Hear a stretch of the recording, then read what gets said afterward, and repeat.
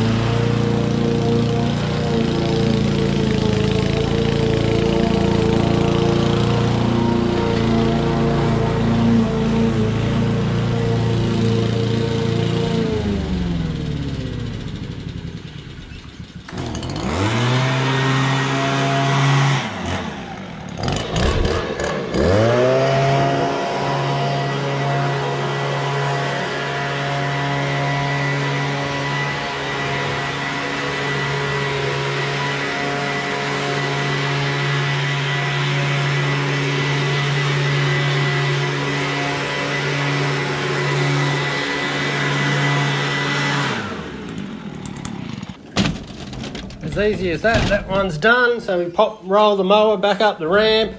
That's the catcher that uh, sits on top of the lawnmower there.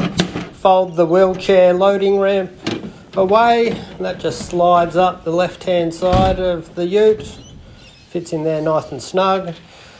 Just uh, loosening the handle here so it fits in the back of my ute. That just folds down like that.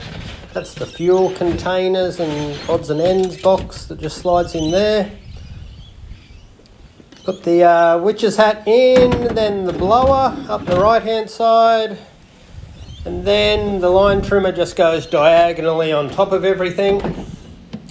And we're off to the next job. See yous.